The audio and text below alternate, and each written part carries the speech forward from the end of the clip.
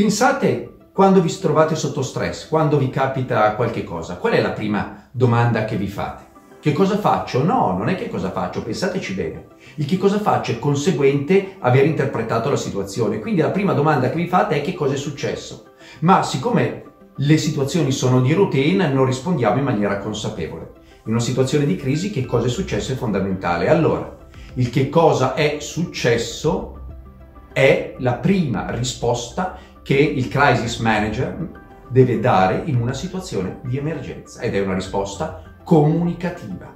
Io ti dico che cosa è successo. E che cosa è successo con il coronavirus? Sono emerse disastrosamente tutte quelle problematiche che oltre 30 anni fa, Chernobyl 1986, avevamo visto emergere.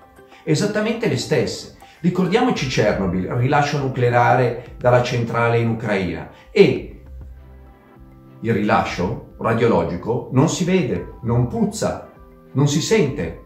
Di conseguenza non sarebbe esistito se non si fosse narrato. Allora, 1986, a una telefonata italiana al governo francese, che cosa dite di Chernobyl? Si rispose dall'altra parte, perché voi dite qualcosa? E questo inquadrava molto bene la competenza strategica della comunicazione del rischio. Ricordiamoci che dopo Chernobyl si ebbe nell'87 il famoso referendum sul nucleare in Italia che abolì il nucleare. La Francia non poteva permetterselo, vive di energia nucleare.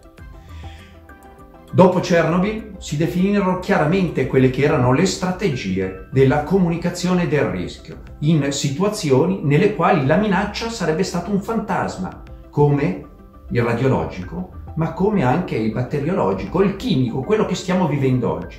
Chernobyl oggi si è replicato con frustrazione per chi l'ha studiato, perché si sono ripetuti gli stessi errori, e con un grande amplificatore rispetto a Chernobyl, un sistema tecnologico della comunicazione che è completamente cambiato o meglio nel quale si sono inseriti in maniera prepotente i social media, i nuovi circuiti di una comunicazione esplosa, comunicata, incontrollabile. Che cosa è successo? Beh, torniamo ai primi dieci giorni del coronavirus. Vediamo che cosa è, è, è successo. Innanzitutto abbiamo giocato a fare i primi della classe. Guardate come siamo bravi. Chiudiamo, ci chiudiamo, perché così non contaminiamo gli altri.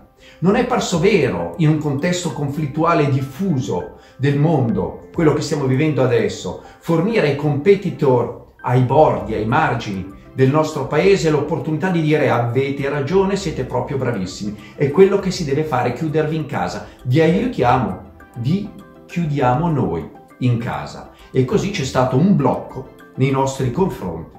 Certo, tutti avrebbero dovuto bloccarsi prima. Certo, ci sono stati dei ritardi, ma utilizzati funzionalmente dai nostri competitor. Perché? E questa è la mancanza, perché non c'è stata una comprensione degli effetti domino, delle dipendenze inevitabili che in un sistema reticolare globale una crisi ha e la comunicazione ancora di più. Non si è soli e si è pensato di poter agire da soli per rispondere a un evento che sarebbe esploso rapidamente sul mondo. Secondo errore, l'emotività.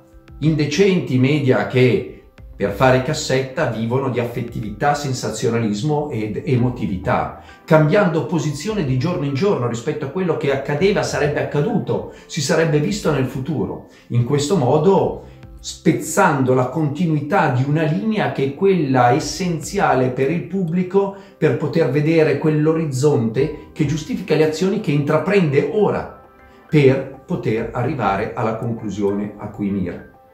Social media che sono diventate tifoserie incontrollabili, assolutamente, eh, assolutamente senza possibilità di avere una, una, norma e un riferimento alla qualità dell'informazione che veniva dispensata. Ma ancora peggio, scienziati di cui veniva usata la conflittualità e il narcisismo per la loro presenza nei media, quando lo scienziato da sempre nel pubblico è percepito come quella fonte disinteressata sopra le parti, non politica, che partecipa per aiutare.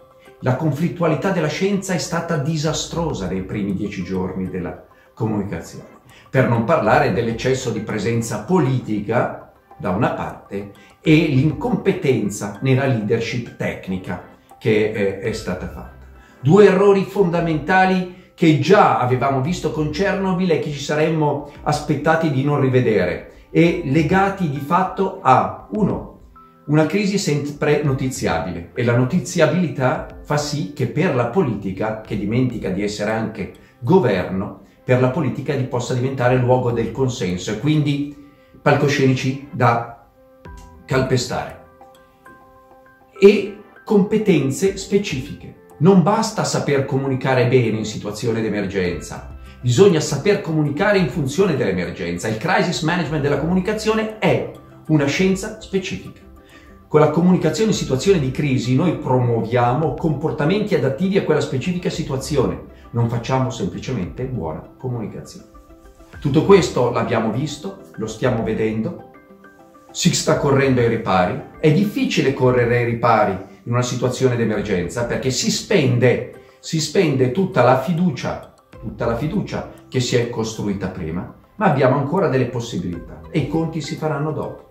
Noi abbiamo la grande C del coronavirus da combattere e abbiamo 4 C, la grande C del coronavirus che noi dobbiamo combattere e la combattiamo con la C della consapevolezza adesso. Dobbiamo essere consapevoli che il rischio c'è, è concreto ed effettivo. La combattiamo con la C della competenza. Le nostre azioni non sono a caso, le nostre azioni devono fondarsi sulla conoscenza competente di quello che è opportuno fare per poter uscire in piedi da questa situazione. E la combattiamo con la C della collaborazione, perché l'agire individuale ha un effetto importantissimo sui risultati della sicurezza collettiva. Consapevolezza, collaborazione e competenza ci faranno battere la C del corona